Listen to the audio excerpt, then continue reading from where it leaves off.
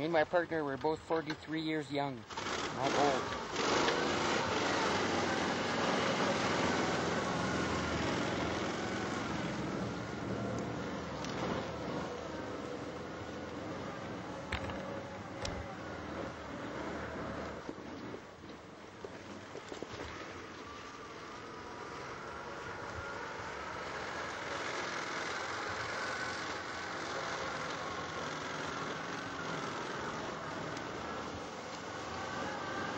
Without those angled paddles,